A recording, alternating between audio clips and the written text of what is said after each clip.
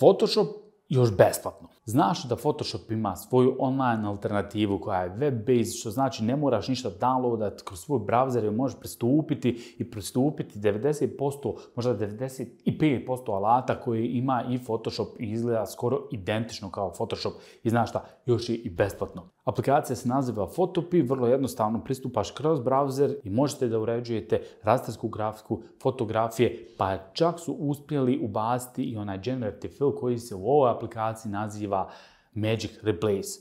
Odiš na ovaj link, pogledaš, sve će ti biti jasno.